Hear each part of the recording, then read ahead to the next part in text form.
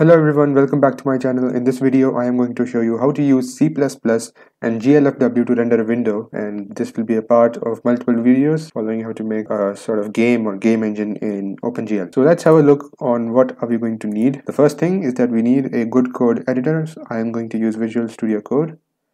Then we also need a build system, although you can do it without it, but I'm going to use it. This is CMake. Then you need something to compile a project. I'll be using MinGW then we need git uh, so that we can get glfw and um, we will be cloning glfw's source code using it. And we'll come back to this in, um, later in the video. So let's create our project. So we'll open the folder and we'll create new directory.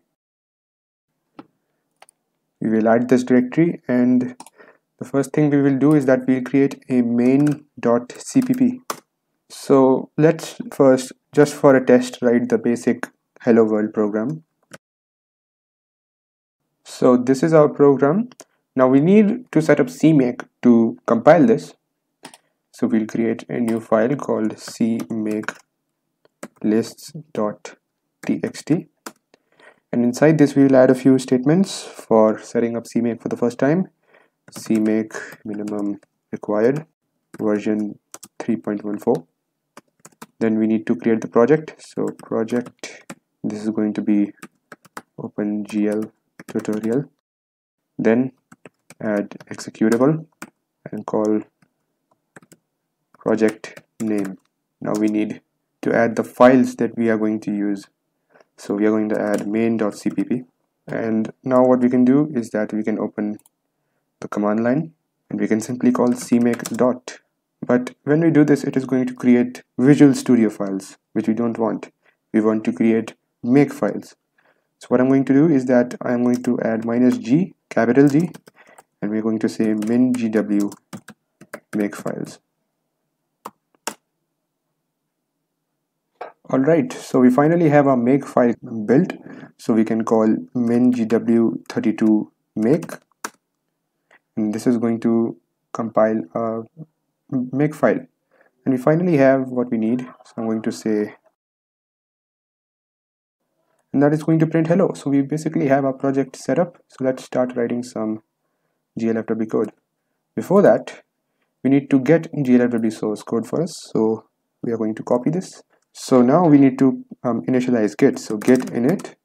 So then we will run git submodule add link to the glfw repository which is right here and the folder name. And when you run this this is going to add glf basically this entire repository to our project over here. Till the time it is doing that we can set up glfw to work with our project. So the first thing that we need to do is tell cmake that there is something called glfw around here. So add subdirectory the glfw slash directory then we need to also tell cmake that we need to include and link it. So target include directories. That is going to be our project name. Public all caps followed by glfw we'll copy this line and instead of include directories we are going to say link libraries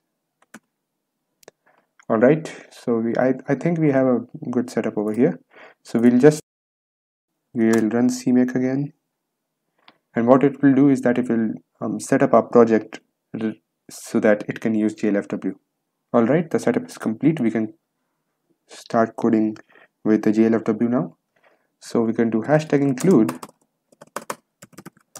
And we have to write glfw slash glfw 3.h now we can remove this print statement and we are going to create the glfw window object. So that is glfw window pointer to the window because that is how it works.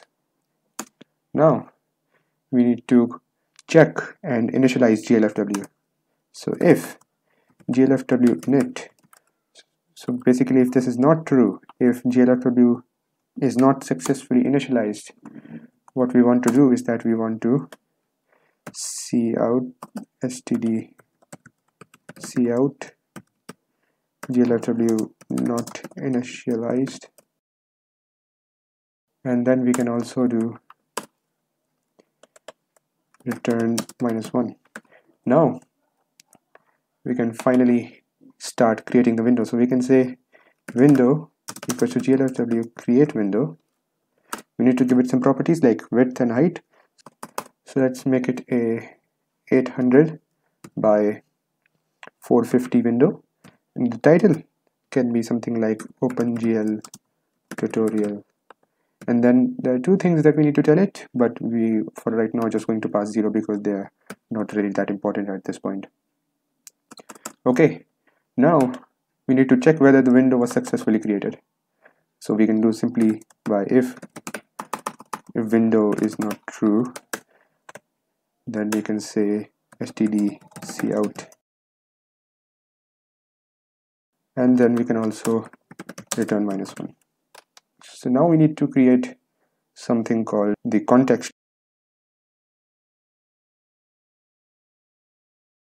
So we can say glfw make context current. Without this your glfw will just break and it will be awful. So we can just pass in a window and that will be it. By going into a while loop a permanent while loop and say glfw poll events and glfw swap buffers. Controls password over here. And at the end when this loop is over we might want to say glfw terminate.